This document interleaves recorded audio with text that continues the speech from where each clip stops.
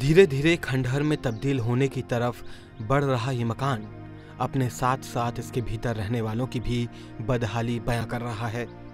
छत्तीसगढ़ में बलरामपुर ज़िले के बेलकुर्ता गाँव के इस घर में प्रमलाबाई अपने दो दिव्यांग बच्चों के साथ रहती हैं। पति की मौत हो चुकी है, लिहाजा घर में कमाने वाला कोई नहीं। ऐसे में इस परिवार का गुजर बसर विधवा पेंशन से होता है, लेकिन छह महीने से वो भी बंद है। विधवा पेंशन मिलता है। और ये दोनों मेरा बच्चे हैं, उन लोग के विकलांग पेंशन मिलता है। तो हम लोग के होली से पहले मिला है, और होली से इधर हम लोग के नहीं मिला है विधवा पेंशन। सच, सचू सरपंच बोलते हैं, यही बोलते हैं, पूछने के बाद बोलते हैं कि नहीं, पेंशन अभी अबे नहीं किया है। आएगा तो हम लोग देंगे आया नहीं है तो कहाँ से देंगे हम लोग? मुश्किलें यहीं तक सीमित नहीं हैं।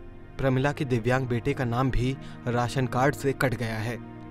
अब पूरा परिवार हर महीने माँ के राशन कार्ड पर मिलने वाले 35 किलो चावल से अपना काम चला रहा है। जो मम्मी के कार्ड में मेरा भी नाम अलग से जुड़ा था, लेकिन मेरा कट गया राशन कार्ड, सर। नहीं तो पैंतीस किलो चावल मेरे को भी मिल रहा था। पैंतीस किलो चावल नहीं मिलता है। जब से राशन कार्ड कटा है, तब से पैंतीस किलो चावल नहीं मिलता है।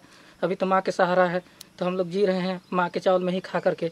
वो मोदी जी की योजनाएँ हैं जिसके अनुरूप सबको घर मिल रहा है पक्के का घर मिल रहा है गरीबों का मतलब किसी का वो नहीं रह पाएगा सबका आवास मिलेगा लेकिन हम लोग का कहाँ मिल पा रहा है? हम लोग तो कब से कोशिश कर रहे थे कब से बोल रहे थे कि आपका निकल गया है आ गया लेकिन नाम आता भी है फिर भी पता नहीं क्या हो जाता है वो बनता ही नहीं है।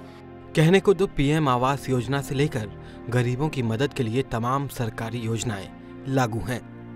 लेकिन इस परिवार तक ऐसा कोई लाभ नहीं पहुँच पाया है। इस बारे में जब अधिकारियों से पूछा गया तो वे फिर से जल्द मदद दिलाने का भरोसा ही देते नज़र आए।